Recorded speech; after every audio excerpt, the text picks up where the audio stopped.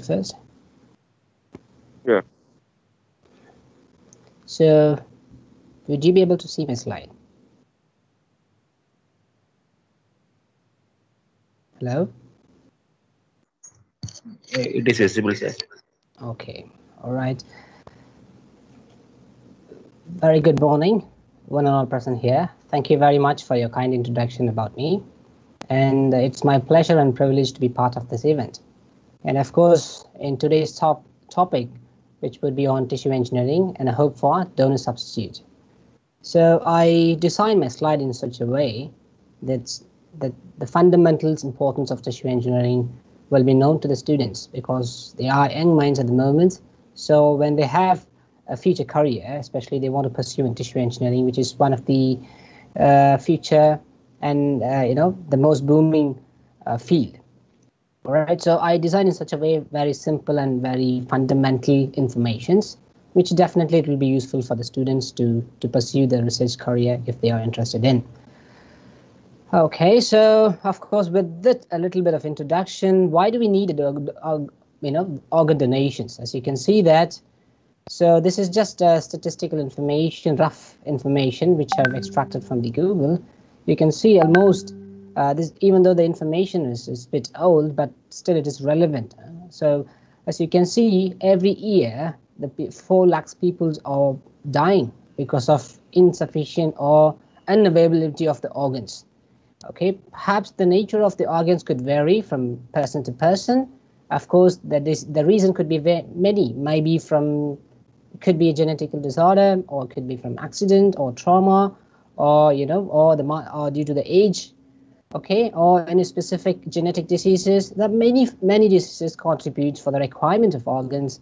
But at the moment, we we every year, as you can see, the numbers of requirements of patients depending on the donor is keep on increasing but but the donor is keep reducing it all right as you can see the manifolds are keep trending increases even though as the last two years we have uh, good news about there is a good amount of awareness spread among the among, the among the peoples who are willing to donate it after especially for any brain deaths and other uh, you know the unpleasant incident happen so they're quite that mainly due to the education and awareness created by the respective countries. So which is a good which is a good sign. So I, I don't want to restrict particularly to the India. It is also applicable all for all over the world. But uh, when compared to other other other parts of the world, they have certain amount of uh, you know the the information and awareness. But we do have a lot of populations. But accordingly, our requirement of organ is also going to be higher. All right. So in that case, this is as you can see that there is every year there will be a tremendous increase of the organ. The people are depending on the organ, right? So, in in, in line with that, so is there any opportunity? Uh, as you see, as you can see that if anybody wants an organ, it should be dependent on others, isn't it? But of course, not. There are certain conditions. So it depends on the organ. The people can donate. Even our own sibling, of course, if any organs which is quite good functioning and also still there is a stigma on in our society. So the requirement is keep on increasing and every year, but the amount of receiver, you know, the amount of donor is going to be, it's not catering the requirement at the moment. So in conjunction with that, there is a field called regenerative medicine where the ultimate aim is to regenerate an organ artificially in X in X vivo condition and can be transplanted into the person. So in some extent, if an organ can be developed, it so which can fulfill the requirement, if not if not cater everybody, but at least it can give you know support for the dependency on the organ donations. So uh, it's not a new term, as you can see. The regenerative medicine is not a new term. It's there in 1970s. You can't believe that, isn't it? So it's there since 1970s, but every decade it keep on improve its advancement of technology. It keep on increasing, uh, you know, advancement and and we reach certain stage at the moment uh, at least at least you know uh, we had a good embark or good hope on the tissue engineering where in future certainly we're going to replace there a complete organ which no longer dependency on any other person okay so it is nothing but as you can see the tissue engineering is a part of the uh, regenerative medicine in, in most of the textbooks sometimes they interchangeably use the term so one of the elements of the regenerative medicine is going to be a tissue engineering. As the name sounds, tissue engineering, which means you're going to engineer the tissue artificially. So what do you need for that artificial regeneration? You need three elements we're going to see in the next slide. So when you look at the component, the curriculum of that particular tissue engineering field, it is a combination of an engineering field and biological field. So ultimately, it is going to helpful for the development organ and either to partially replace or fully replace or improve the function of the organ. So that is the main objective of it. So as you can see here, the tissue engineering triad. So the tissue engineering triad is nothing but tri means three, isn't it? So the entire concept depends on the three important elements. The first one is going to be a cells, obviously. Without cells, nothing is possible. It's the fundamental unit of life. So the cell, another one is going to be the biomaterial, and third one is going to be the signaling molecules. Okay, so this is very important, especially when you anything have your cells externally, you need some stimulus to retain it to especially for differentiation purpose if you want to differentiate into you know uh, chondrocyte cells or you know bone or osteocyte cells or skin cells or heart cell myocytes whatever it is. So the signaling molecule is an important factor one among the triad which is going to be helpful for the differentiating the cells into the particular type of cells. This is a simple schematic representation for better understanding. So again this is another schematic and uh, representation of uh, tissue engineering. How does it work it is going to be the quite similar you might have encountered about um, animal tissue cultures or cell tissue culture. Even I, have gone through a curriculum which is there some extent of studies on animal tissue culture. So um, which is quite com which is the mechanism is quite be the same. The principle is going to be the same. So you're going ultimately you're going to depend on tissue culture work. So what what extra mighty is going to be involved in this in the session is going to be then a scaffold. Scaffold is nothing but as an extra element. It gives a three, three, three-dimensional support, especially to give cells to spread on the on the scaffold material to grow on it. So once you grow on it, of course, it will give a shape and architecture for that construct that which can be translated into the patient. Okay, so it the image looks sound. Oh, you're gonna harvest it and, and culture it and transfer it and put it back. But there are lots of practical difficulties which stops for us moving forward since three or four decades ago. So anyway, so due to, due to the fundamental sound knowledge developing every year, so the improvement of application is is you know is quite vast at the moment. So still a lot of research is going on. So certainly there is no doubt, and one day there will be a complete you know the reorganization or complete generation of an organ ex, uh, you know, externally. Okay, some of the uh, pictures I posted here, which is um, which is artificially synthesis from from the renowned publications. So as you can see that um, this is just a bladder, which is which is artificially synthesized, and this is a trachea. As you can see, there's another one, which is um, heart, which is which is which is again crafted by 3D printing technology. Another one earlobe, earlobe, and as you can see, there's another truck here. this is also artificially synthesized. You can't believe you don't have to depend on any donor to wait. Nobody, nobody, nobody's going to donate it if they are alive, isn't it? So there are uh, there are plenty of opportunities with the help of the tissue engineering to regenerate an organ. The finally, you can look at that. It could be like a candy, doesn't it? So it's not a candy; it is a kidney. So uh, one of the reputed university from uh, from United States, they've developed this, and uh, so you can see there, you can see there there is a secretion of uh, you know separation of urine components. So they tried it. It's it's it's uh, it's a model, but it gives a hope that there will be a possibility of complete regeneration of uh, kidney. All right, so the, let's look at the cells. What are the cells? As I said in the triad, that one of the important component is going to be the cells. This is the first element of the triad. So cell is the fundamental, you know, fundamental uh, unit of our living being or fundamental unit of our any tissues, isn't it? So the t- cells is important. So obviously the cell, the choice of the cells is purely depend on the type of organ which you want to de- want to develop. So I've listed here, as you can see, the fibroblast, as everybody knows about it, it is quite responsible for the generation of skin. Similarly, if you want to regenerate a bone, osteocytes. And if you want to do for the chondros, uh, you know, the cartilage materials, which is the chondrocytes, and of course, and proportionally, you can see myocytes for heart, okay, and adipocytes for fat tissues and other stuff. So obviously the type of cells which you're going to which you're going to you know generate it is very very important. Okay, so let's move on to this. What are the types of cells which is currently being used in tissue engineering? As I've listed here, this could be fundamental, but it's very, very important. So the first one is going to be autologous. Auto means, as you know, self, isn't it? Everybody knows about it. So same person. For instance, if I if I, feel that uh, I I can donate, I mean I can take a portion of a skin and can be preserved for quite some time, and it can be recycled. As you can see, even nowadays the stem cells, when when, when a baby borns, there are nowadays the technology is a bit advanced. They can also take up their own umbilical cord stem cells. They can preserve for you know many years for um, perhaps more than 20 or 30 years, so that if the same person undergoes some specific diseases, that similar same person's stem cells can be utilized for the regeneration. That's a quite example. Similarly, so any any tissues which is taken out from the same person can be harvested, uh, can be you know organized or developed externally, and then it can be transplanted later. So another one is going to be allogenic, allogenic from same species, which mean I get an organ from a different person.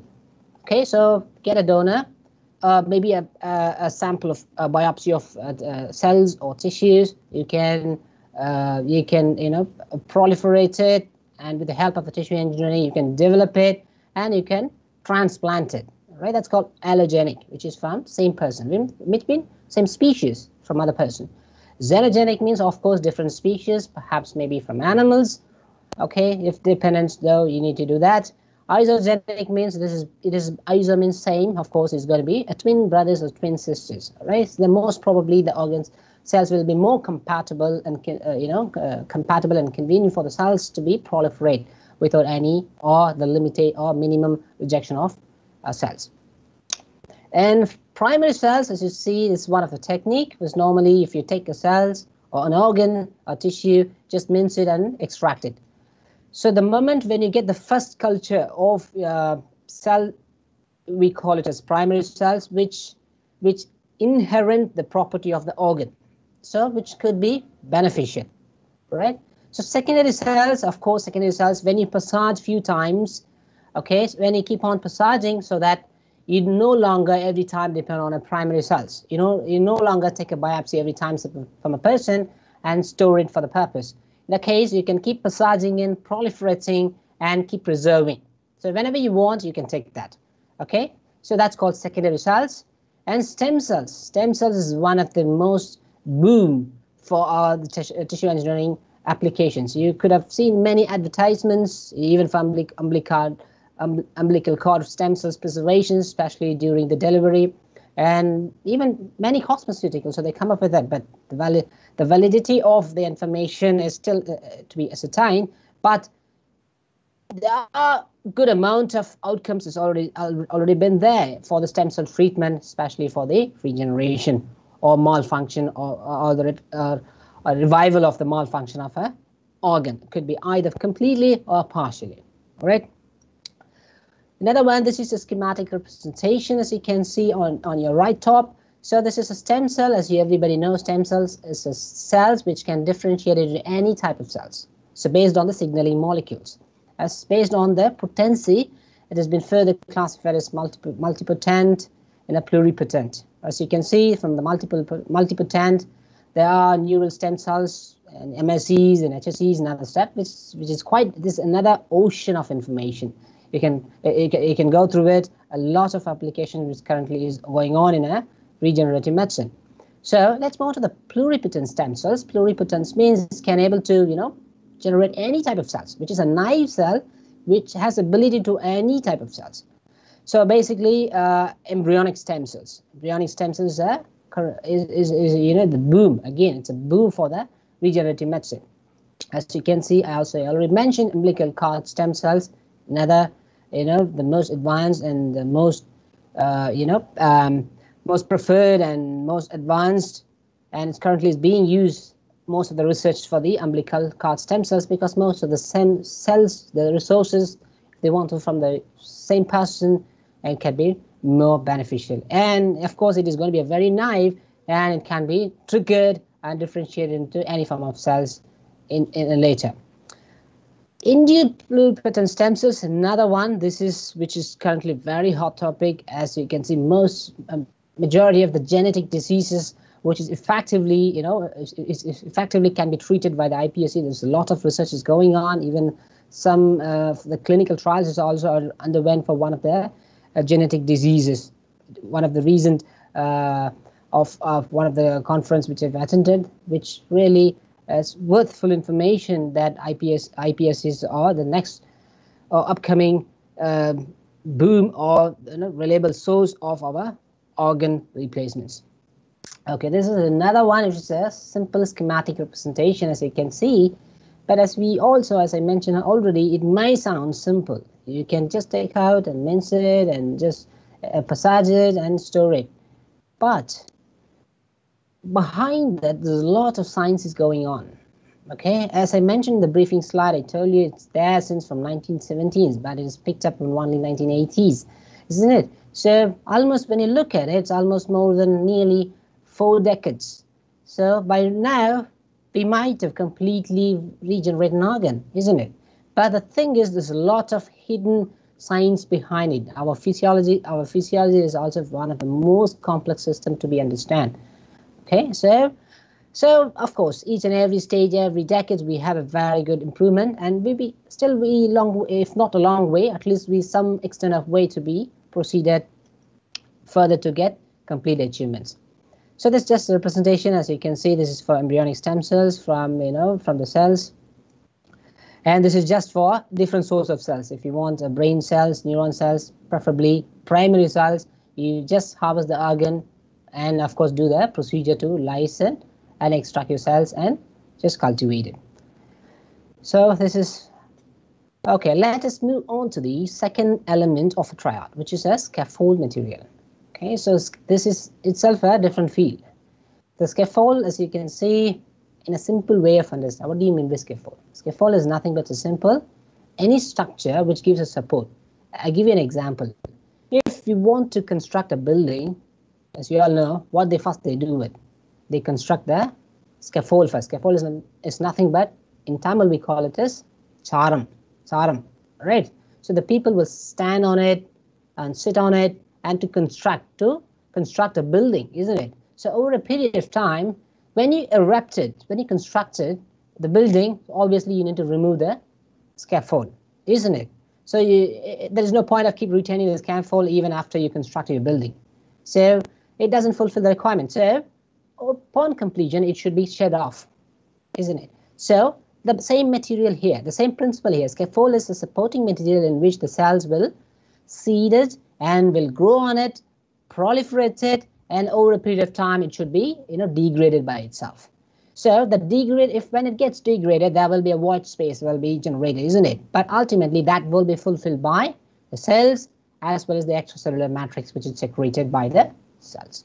So it is one of that's what it is one of the important elements in the tissue engineering triad. So ultimately, it needs to, as you can see, that it should it should be conducive. It should give a conducive environment, okay, and it should uh, it should allow the cells to proliferate it, and and it should it should be have proper mechanical properties. Very very important. Huh? The the mechanical property decides and defines the usage of the of your of your scaffold all right or, or, and also it will define efficiency of a product okay? So some of the um, and of course it should be less immunogenic. If it is good to have less immunogenic uh, because we can't in nature we can't assure that any forest we can't assure that uh, our immune system cannot detect it. So even though we claim it is immuno, uh, it is non-immunogenic but there are certain extent of immunogenic will be there. So it is good if we have complete devoid of immunogenic reaction. If not, it's a minimum reaction is required. Okay, so that's uh, one of the fulfillments for the scaffold material.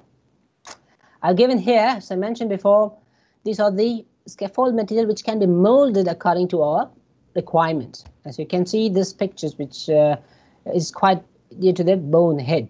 Okay, so it's a thigh bone head. So it was molded to the shape of of, of the bone. So the cells will be seated on it, cells will grow on it, and over a period of time, this material, you know, this will slowly go off. So this is completely repla replaced by the mineralization process by the osteocytes.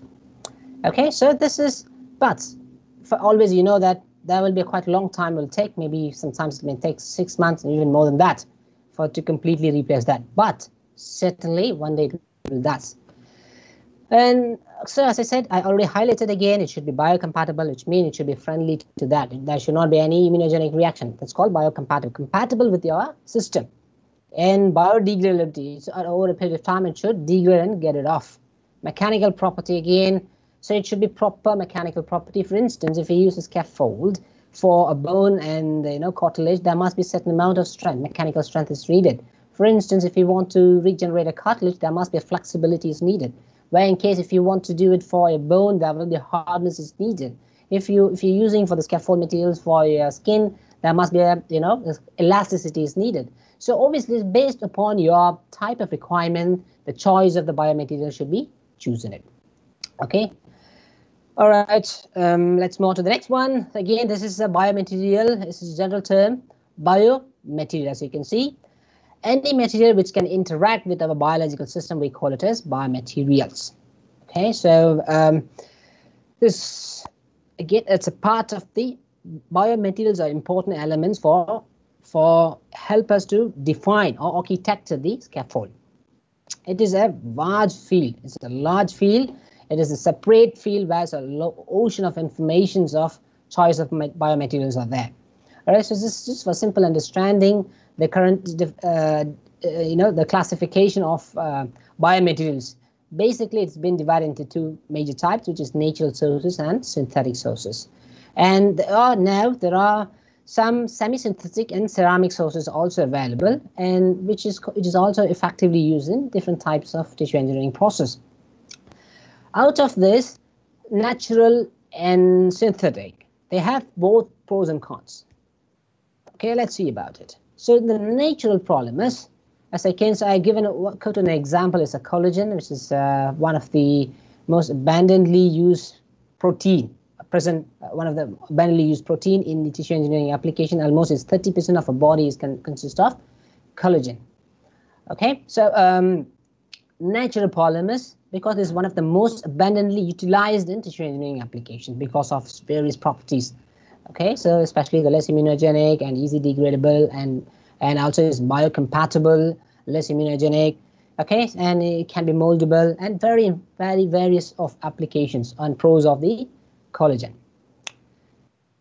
And of course, it has its own limitations. As I mentioned, why do we need the nature? As I said, anything which comes from the natural origin, of course, there will be certain levels of compatibility with our physiological system. So any foreign substance can completely foreign substances, then there will be chances of rejection, isn't it? So the main preference is go for the natural origin. Um, as you can see, collagen, which is present 30% of the collagen which is present in our body. So which is abundantly used biomaterials in the tissue engineering application. As you all know, this is this is this is a triple helix structures, and of course, uh, our, our state is quite familiar for the collagen invention of triple helix, which is done which was invented late in our, you know, in our in CLRI director. So uh, as you can see, there's the different types. And again, so the most abundantly types, as you can see, 28 types. The most abundantly used types would be 1, 2, 3, and 5 and 10. So most importantly, the type 2, which is mainly used for for the applications of you know, bone and uh, hardness, hard tissue engineering related work. And as you, as you can see, it has a good porosity. Porosity, why do we need a porosity? Porosity means porous. It must have a porous because the porous will assist the cell to migrate in depth of the scaffold as well as it will also permeate the nutrients which you are supplying through the medium. It will permeate through the porous and reaches the cells. So the cell will consume the nutrition and will grow on it. Next one is going to be the biodegradability. As I mentioned, over a period of time, it should be degrade and should be, you know, disappear. Com compatibility, it should not cause any immunogenic reactions. So it is, it, possesses almost every, uh, you know, requirements of tissue engineering. But one limitation is uh, poor mechanical properties. So in order to get rid of that, so maybe we need to use in combinations. Let's see another examples of natural, which is also abundantly used, which is a type of a polysaccharide. The chitosan, which you can see that, which is mainly obtained from the hard part of uh, uh, you know the animals. So the chitosans, which is hard, as you can see, uh, which is the second uh, abundantly available polysaccharide. The first is the cellulose, which is also which is also enormously used in tissue engineering application due to its the good efficiency of the mechanical property. Okay, so uh, as I listed here, another example is going to be polyhydroxy acid, uh, which is just synthetic. There's a lot of synthetic materials already available, but I just quoted one example. So PLGA and PGA, polyglycolide and glycolic acids. Okay, so they also use in terms of combinations where which is it has its own advantages. For instance, the beauty of this synthetic materials are you can mold the shape as you can, and also you can you can define the oddness. And of course, there are synthetic materials which can be which can be you know biocompatible, less immunogenic, and and it can be bi biodegradable property as well. So uh, those are the days we only depends on the natural source. But nowadays we can have a good combinations of synthetic and semi-synthetic and also natural combination could help to, to achieve our focus. Okay, as I highlighted before, this is a composite. Composite nothing but a combination. So when you use individual polymers, they might have its own pros and own cons. So in order to address the requirement of our object, so we need to have multi-dimensional properties. So that multi-dimensional properties can be achieved with the combination of different materials. As you can see that nowadays, not only the related tissue engineering, any type. So always they try to, even for preservatives, when you take, when you do it in a combinations, the efficiency will be more. So similarly here, when you for apply for the tissue engineering, you need to look for various parameters. As I mentioned, biodegradability, bio, biocompatibility, and uh, less immunogenic, and uh, mechanical property. So ultimately, if everything is fine, but if it is not able to mold it, then there's a problem, isn't it? There will be a hindrance for us. So now the synthetic and semi-synthetic material gives a way for us to proceed the way what we expected. Okay, this is one of my paper, which is published way back in 2013, which is just a combination of collagen and chitosan scaffold. And with the help of the aloe vera, as you all know, the aloe vera, which is quite commonly used for most of the cosmeceutical purposes, and also in, in a traditional medicine, which has also been used due to its uh, very antioxidant properties, and it has, and also it has n numbers of applications. So I've tried it. We've tried it, and and and successfully we have seen it uh, quite uh, good results, uh, promising results, where the presence of aloe vera could promote the uh, the growth of cells and also it, uh, it, it increased the penetration of the cells inside the in depth of the scaffold. So this is another paper of mine which I haven't published yet. So uh, it's in the communication yet. So this is just for cartilage tissue engineering. I've used certain amounts of the similar way of collagen and chitosan. Um, and I've used for the trial. I've used for the generation of cartilage material. I say, and I've, I've used the type 2 collagens for the development of the scaffolds. Just I've used the primary chondrocytes, which I've harvested from the rat chondrocytes. So after seeding it, after three months, we have seen it's, it's a there will be a transition of you know the cartilage development, and which is also we have with an evidence of a scanning electron microscope, you can see the noticeable structures of the cartilage or chondrocyte is going to be spherical shape. As we have observed it, it retain its shape. As we have used the primary cells, perhaps, you know, over a period of time due to the external factors, it may lose its inherent property. But success, when you see that, it, it, it retain its, uh, you know, important property of its shapeness. This is phys physiological or you know, morphological structures.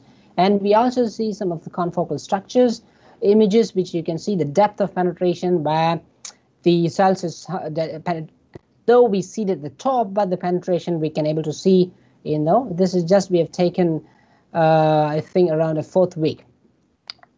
Okay, so you can see that it's a good amount of penetration in the presence of, you know, aloe vera, which you can see that. And also we can confirm with the some of the specific markers, uh, particularly for you know cartilage, which is collagen markers, and aggrecan markers. So as we can see, it is quite predominant in the type 2 um, uh, type 2 collagen secretions. Um, as you can see, um, it is also further confirmed by the, you know, the specific immunological, immuno, immunohistology, immunohistochemistry studies by uh, specific markers. So, which is shows that there is a secretion of extracellular matrix, which is rich in type 2 collagen. Okay, let's take another example of this is uh, adopted from one of the journal.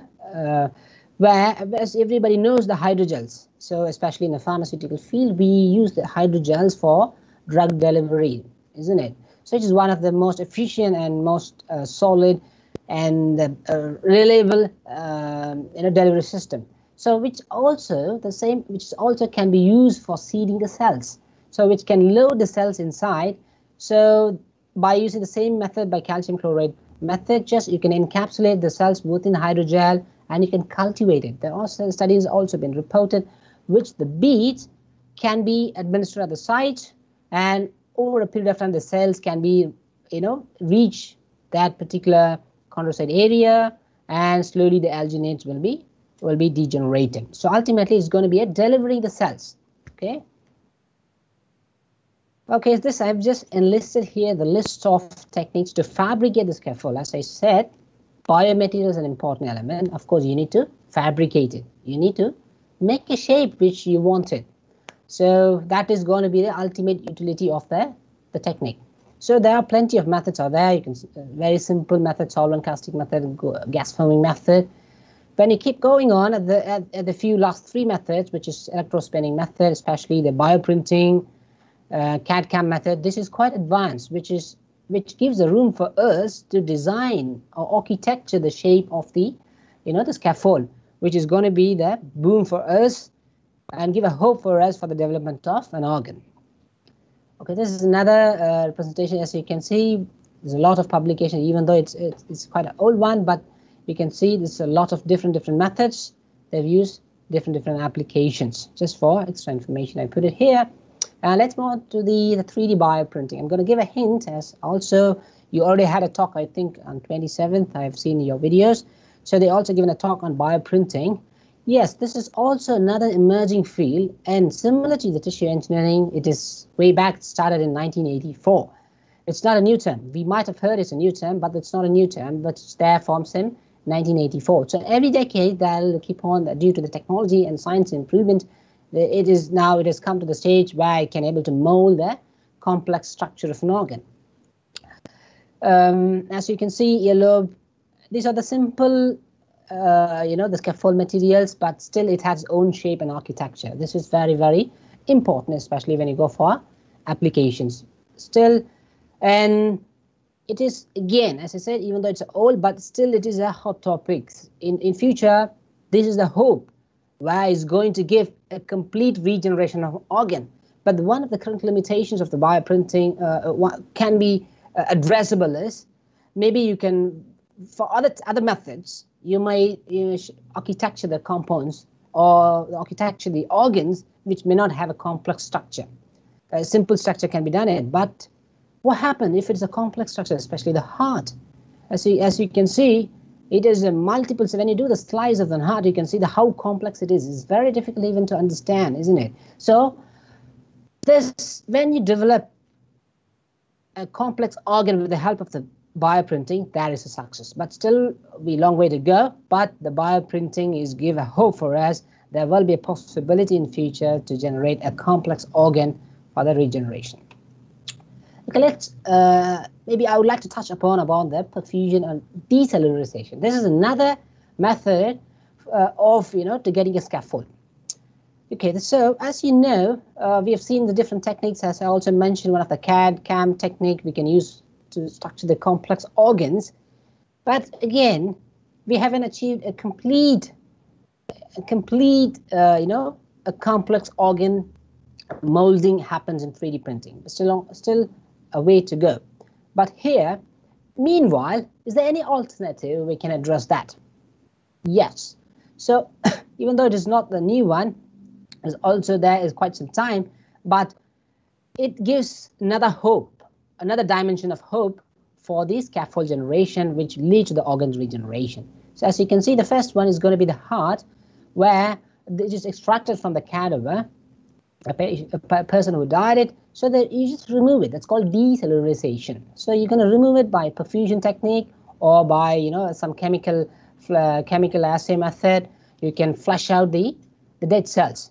So when you do it, finally you end up with only the cells. It's called decellularize a heart where there is no cells at all, only the extracellular matrix, which is going to act as a scaffold material.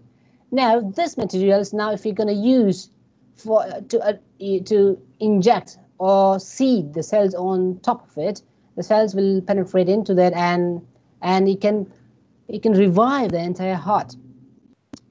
Okay, so even though it, even though it is it is a proposal, but there are certain extent of success which already been achieved. So you can see that uh, another one is, is a, a, liver organ, okay, which is, gives a hope.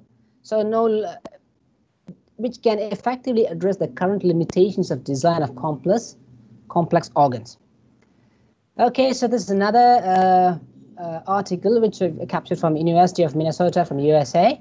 They successfully done it. So they took the rat heart and completely decellularized it, and of course they then they try to reanimate it, reanimate or recellularization. So they try to administer it, and of course they also find over, over a period of time they start beating, start it's beating, and what is uh, what uh, they got a astonishing in, uh, invention or gets stunned by that, but they either the cells on top of it or injected at randomly. But as you know, the heart only the 30% of the heart is made up of myocytes. The remaining are non-myocytes. Okay, so only the myocytes are responsible for the beating of heart. But this administration, they they they found it interestingly, the cells penetrate and reach the spot where that beating processes happen. So it gives a hope. But uh, it gives a hope there will be possibility one point of time there will be complete reanimation of the or regeneration of the complex organs. Okay, let's move on to the challenges. As I said, as we all see that it has we have seen it can able it has a potential to regenerate the complete organ or partial organ and you know uh, which can replace the donor but yet uh, still we long way to go as i mentioned the first hindrances to choose an ideal scaffold even though we have you, when you there's a thousands and thousands of bypass you can get it by the scaffold but each requirement of the scaffold will, dip, will vary from context to context, organ to organ, requirement to requirement. So defining a perfect or you know appropriate scaffold for the requirement or to address a particular problem still is challenging. Okay, it purely depends upon the biomaterial which you're going to choose it. It must have all the properties. So Still, it is a potential challenges, but it can be overcome. And again, some of the ethical issues are still pending, especially for you know uh, stem cell issue, stem cells incorporated in the, regeneration. And of course, I said the complex organ itself a hindrance. I said. So if it is simple uh, skin regeneration, nothing simple. Take a uh, take a scaffold of uh, collagen, just growth on it. Even you could have seen it. Sometimes you, you could have read in newspapers that uh, skin fish skin can be used for the uh, regeneration of skin, especially for burn burn wounds, which tremendously reduce the uh, the scars. Okay, even though even though the skin regenerate, but there is a leftover scar which gives a negative stigma for the, on the patients. So there are plenty of work is going on. Um, even there are some of the successful, um, you know, the skin, skin tissue engineering which can be done with the help of the collagen, which can effectively uh, reduce the scar formation. So in this case, you, that tissue engineering plays a significant role. So it's a hope. So one day there must be the possibility where the complete devoid of chiliosis, which is nothing but some marks, can be uh, get rid of it. And of course, in order to achieve that, to in order to completely, you know, as you can see, what we can see the achievements of tissue engineering, only it's like a tip of an iceberg, but there are plenty of challenges and unsuccessful, and uh, it's just submerging under the water. But due to the uh, understanding of science and technology, the time or in future it may it may it may not take in a few in a few years. Maybe it'll take a, a decades. Okay, but certainly one day the the iceberg may flip around so that the success will be more. Maybe the challenges will be quite less. So um, I think uh, with that I end my presentation. I would be happy to answer your question. Thank you very much for patient listening. Over to you, sir. Thank you, sir. Thank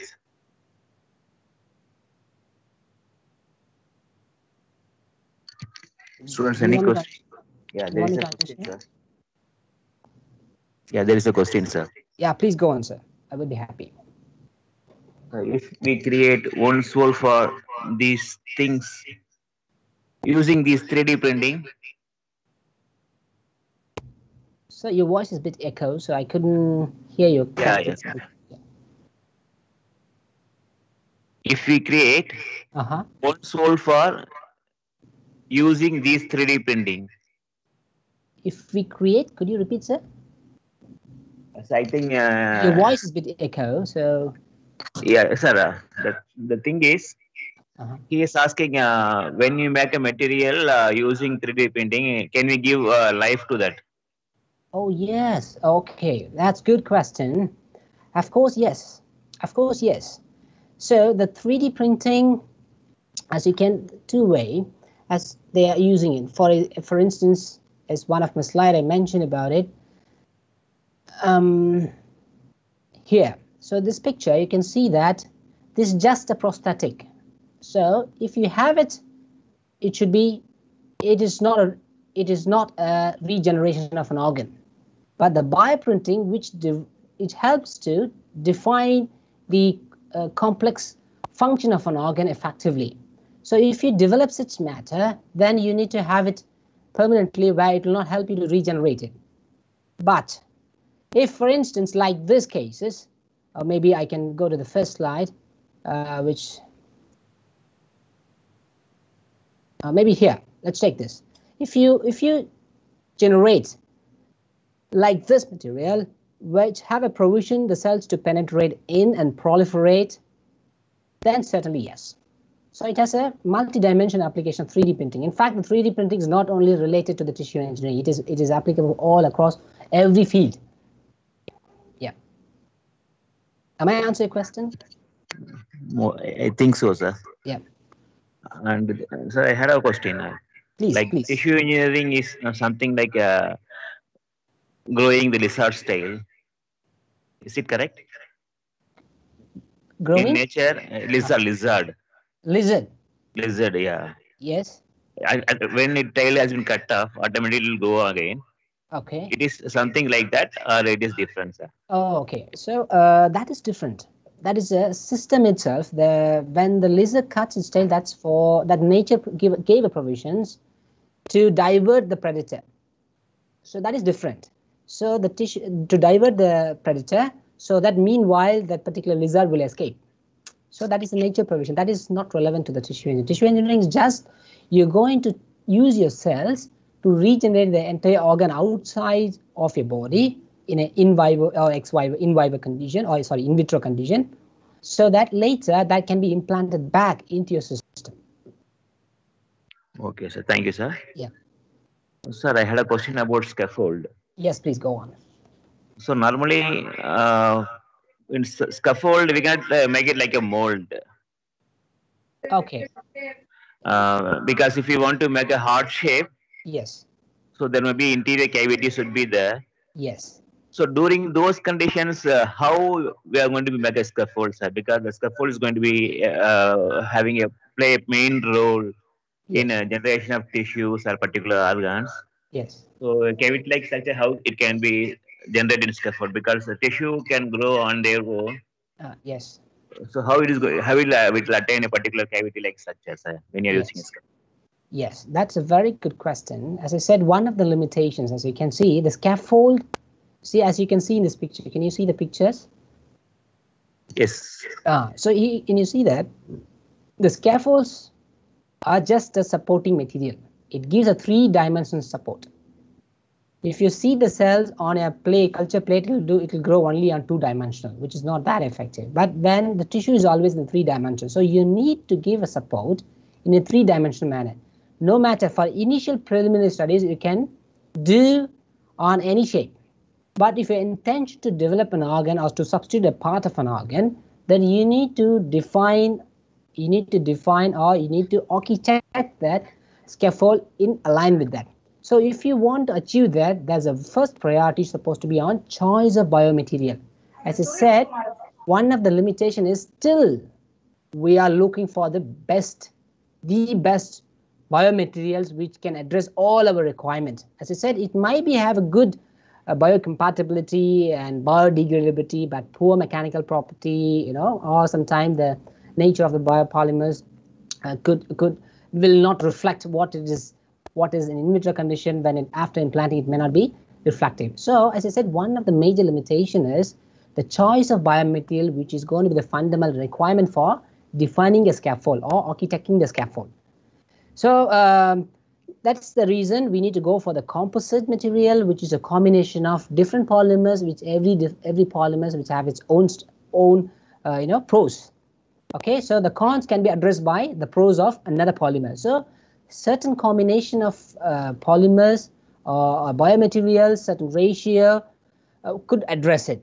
But again, we haven't achieved the point at we can straight away say, okay, you use this combination, we can we can address that issue. We haven't attained the age yet. So that's what a lot of researchers keep going. So when when when when there's a lot of information comes about the polymers, especially the biomaterials, then we can certainly achieve the point. But at the moment, it's it's pure. We haven't attained the stage yet. Thank you, sir. Yeah. So, uh, have you, you have told about uh, stem cells uh, during your presentation? Yes, please go on. Yes, sir. Stem cells is used for gene therapy or uh, uh, regenerative medicine? Yes, that's a good question. So the gene therapy is nothing but both are quite. The gene therapy is a different different field but the gene therapy can be used for regenerative medicine. You understand the point? The regenerative medicine is that it's a broad term, especially to regenerate a malfunction organ, either partially or fully. Okay, if the malfunction is due to this default or, or you know default of uh, of a particular gene, then it can be substituted with the uh, substitute with the uh, specific or the correct gene. So it it can go and effectively replace the malfunction or faulty genes and it can replace the uh, you know the, the correct gene. So that it can reverse back it can reverse back the uh, function of the organ.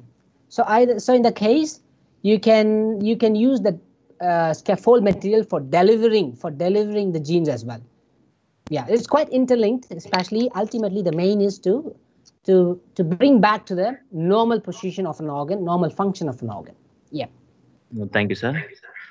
Uh, sir, you have told about uh, 3D bioprinting. Yes, please. And uh, and also you have told about the uh, tissue engineering. Yes. Uh, both are similar. Uh, if, are, if they are different, which is which which is having more advantages? Oh, okay. As I said, the 3D printing is a different field at all. It is a different field.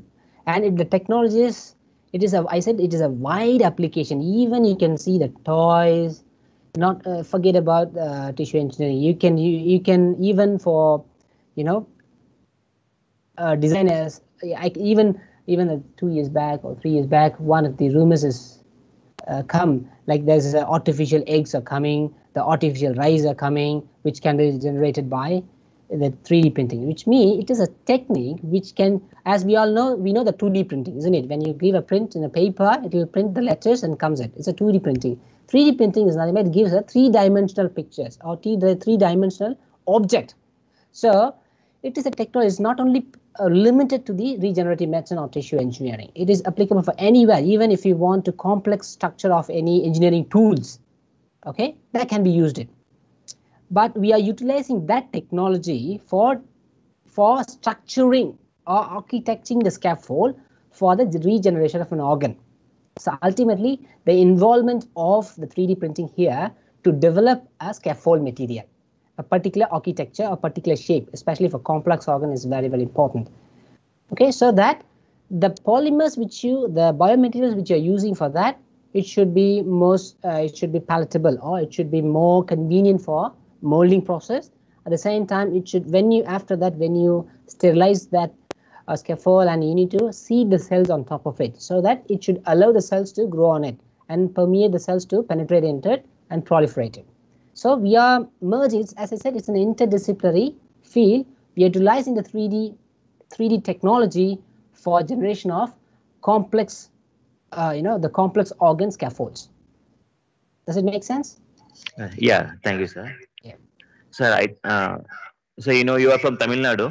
Yes, please. Here we have a practice like uh, when a child has been born, Uh-huh. the umbilical cord has been uh, taken out and kept in a cloth, Yes, uh, and it has been stored for a longer period of time. yes, Uh, so that uh, that the umbilical cord can be used for some therapy in future, sir, which has been stored uh, 10 years back or 20 years back. Uh, Still, it will be there in that. Uh, Liquid nitrogen. yeah, that. Uh, so, what is your opinion on that, sir? Oh, yeah, that's a thank you for raising this question. Uh, even not only in India, even in Malaysia. So during any conferences, stem cell peoples, they are well, the, the particular company will come and give an advertisement, put up both and they're promoting it. And in our in our clusters, there's an one expertise from tissue engineering. I mean, especially the stem cell. I ask the same questions as you all say that it can be used it uh, you know, uh, if you preserve our stem cells, it can be used our our own own own requirement. But in practicality, most of the disease or organ failure, which comes, you know, after 50, isn't it? So after 50 years, due to the age or lifestyle and other stuff. Only few people may become much a much younger, maybe due to the accident or trauma or whatever the case is.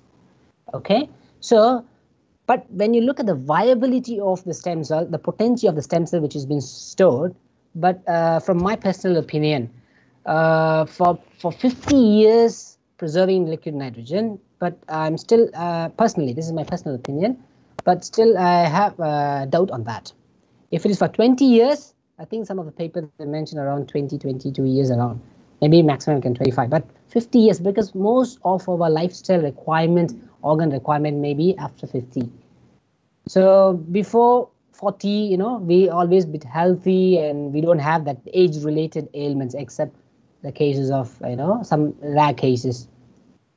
So um, what I'm trying to say, the actual requirement of stem cells will be there majority of the time after 40 or 50 ages. Or till then, after 40 years or 50 years, when you revive the stem cells, whether I can be able to able to address or not, but still, I also don't have the answer for that. But if it can 20 years, yes, it is. That's still, a lot Thank- of research has to be done. This is my personal opinion. Yeah. Yes, sir. Thank you, sir. Uh, there is any tissue engineered product available commercially, sir? So commercially, uh, not yet. From my knowledge, not yet. All are preclinical stage, um, uh, preclinical stage, and they have done uh, experiments in animals, and they are okay, but not yet for not yet for as a whole organ, not yet for humans, because as I said, the behavior of cells in, in in vitro is different the moment when you implant it into it, as I said, our system itself is very complex. We can't predict it. Okay, we, we can't predict what will happen, but there are certain stem cell researches was there very successful as we all know the Dolly sheep. Everybody knows about it, wasn't it? So that was uh, you know embryonic stem cell regeneration of the entire cell of a sheep. But we heard about the positive signs, but we don't know the actual outcome. Uh, you know whether viability even though we said that organ transplantation but when you look at that organ transplantation of even a kidney it's quite could be success for a few years but how long the complete data we have in it? Okay, thank you, sir. So you have been in the field of tissue engineering around uh, five to ten years. Uh, yes. So what is your opinion about that uh, commercial products? uh, when it will, it will launched? Because uh, due to the organ transplantation, there are a lot of human trafficking. A lot of Yeah. crimes is based on the organ transplantation. yes. So, uh, so what is your opinion regarding the tissue engineering for organ transplant? How long it will take? Sir? Okay, so that's a very good question. Even I think nobody can guess at the moment. But what we can assure that in future, certainly there will be a possibility of complete regeneration of an organ. So for that, we need to have a strong science knowledge because even a one single cell, we we, we, don't know exact 100% of every cell. Okay, there's a complex of system is, you know, the pathways, cells and behavior how does it triggering mechanism so it is a long way to go.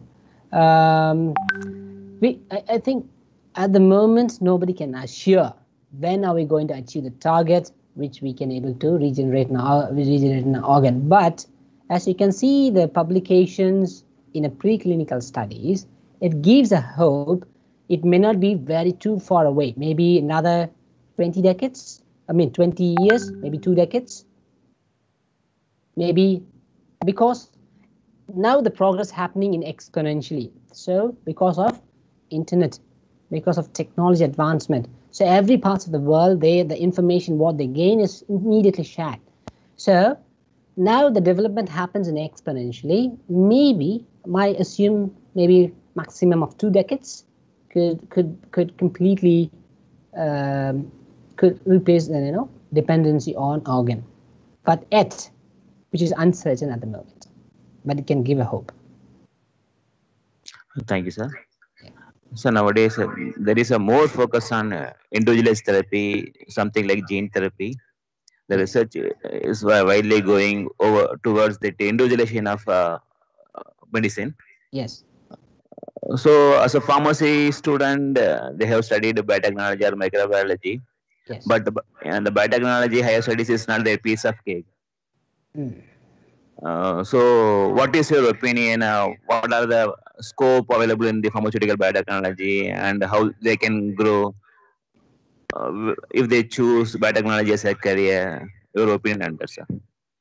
Okay, so biotechnology, you mean to say? I mean, after the pharmacy, or how how, how was your question? After the B Pharm. Uh, so, if you see that M Pharm biotechnology is uh, uh, uh, compared to Chutix or chemistry or analysis, there are less admissions nowadays. Oh, People okay, are prefer to join over there. okay, okay. because there is a competition from external also B, B, Tech uh, or BE. So the people are uh, selecting uh, from biotechnology even though there is a wide scope of research opportunity. Okay, So just your uh, thoughts, is it? uh, word uh, for that. Okay, all right. That's uh, that's a quite tricky question.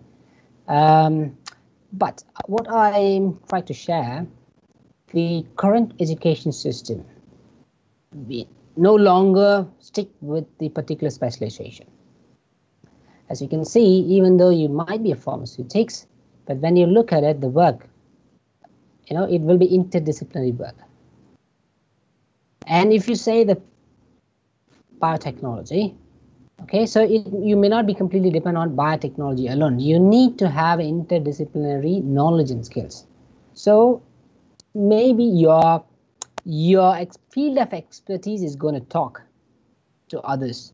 Not about your background or not about your degree. So so for instance if you're quite do research especially you're good at opportunity maybe you, maybe you you would have performed in a or maybe you have biopharmaceutical or maybe uh, pharmaceutical biotechnology. Either way, you've completed your UG. But when you go for your research, especially in abroad, I'm talking about abroad, so they don't mind about what background you're from. Okay, if you have a knowledge about it, a fundamental knowledge about it, if it even if it covered in the curriculum, and if and they can able to train you. So what they are requiring in the research field always, even for PhD or postdoc postdoctoral, they don't mind about you need to be quite excellent in that field. The moment, the factor which you are interested to gain the knowledge or you thrive to understand or you know to, to, to push forward yourself to understand the concept and uh, your enrollment and hardware which is going to give which is going to be the helpful or which is going to be the driving force in the next generations. So um, biotechnology of course has its own way of advantages whereas you will be studies a lot of uh, applications oriented and microbiology oriented. Okay? But the thing is as i say especially for indian con india so always the investment for biotechnology is a bit costlier so, okay even when you when the students when they have fixed the mind okay want to do some biotechnology job it's very maybe it will be difficult for them to get the job related to the field where they're interested in. So one limitations are there because may it will take some time for our countries. Where in the pharmaceutics, especially, uh, is is you know I think roughly around nearly twenty thousand companies are there. At least some extent, at least if even if you take five percent of the companies, they need an R and D, then the then there is a, a requirement of pharmaceutics. But here nowadays the focus will be having bioproducts okay as you can see is genetic as you can see that the gene therapy gene medicine even for vaccines the good examples of vaccine so it is a very good opportunity uh, for for you know to venture into the field so it doesn't mean you need to be bio uh, biopharmaceutical technology to in order to have a vaccine but as long as if you have uh, some amount of knowledge which then, of course, the course could be one of the bridge for you to achieve the knowledge. Apologize. so, um, your interest. So in the future, every, every, anyone can go any any field. So they won't. I'm talking about after 10 years. The specialization or depends on your research interest. So you can switch, but ultimately, if you're excellent at that, you can go anywhere. So that's, I'm not sure whether my answer your question, uh, but with some extent Okay, I sir. tried. Okay, sir. Okay. sir. So thank you, sir. Yep. Uh, students, any any questions? Sir, good morning, sir.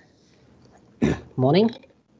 Uh, sir, uh, any in silico study is possible for predicting the um, biocompatibility or biodegradability in tissue engineering, sir? Oh, yeah. Um, currently, the in silico studies for release profile is a lot of there, especially the release of scaffolds, especially for to deliver the particular neurotransmitters or growth factors, especially to differentiated factors. um, and also the in, in silico studies for compositions, composite materials. Yes, there's a plenty of that. So which gives an idea, especially for if you want a particular strength. Uh, of course, um, maybe if you have, uh, you know, the crystalline properties, uh, moldable properties, mechanical properties, yes. So there are currently there's a lot of in, uh, in silico studies also there. This can be predict the composition of your materials, so that which can abundantly reduce your time and expenditure for involving random trial method. So yes, it is. Any other questions? Sir, the tissue engineering technology, how the way differ from crafting technology, sir? Okay. so crafting is, is a broad term. Okay, so the crafting is a broad term. The purpose of the crafting is to mold the shape. Okay, over the application stops there itself, the molding technology or crafting technology. And it may not be limited to the application oriented towards the clinical applications. It can be anything, maybe even uh, you know for any speci- specific structures or maybe prosthesis organs, maybe for if you take um, any complex structures not related to the clinic. Okay, so example I'm talking. So the crafting is a broad term which uses the engineering principles and dynamics which can be useful to design and shape the architecture of a, a particular uh product. But here The tissue engineering, we use the technique to design and design and define the shape of a scaffold we're using because that is going to be a base material where in which our cells is going to be seeded. So those are two different fields, but it has its diverse applications of crafting technique. But one of the application we use that technique for molding as a 3D as uh, principle. We are molding for developing of scaffold, which is one of the important triad element of our tissue engineering. Does it make sense? Thank you, sir. Yeah. Uh, any other questions? Sir, I think uh, we are at the end of our session, sir. Okay. Thank you very thank much. you, sir. Yeah, thank you, sir. Thank you for spending your valuable time with us, sir. So whenever you uh, whenever you're coming to India, just kindly let us know, sir. If possible, uh, we can have a session with you, our students directly, sir, uh, because uh, kno- knowledge transfusion will help the students to grow better, sir. I would be happy to. I would be happy to help help our students or young minds because uh, it's my pleasure and privilege, as I mentioned during the introductory. Um, what I have a little knowledge, which I've gained through the years, so it is a, in fact it is a good platform to interact the students so that they can know the knowledge what's happening in and around the globe.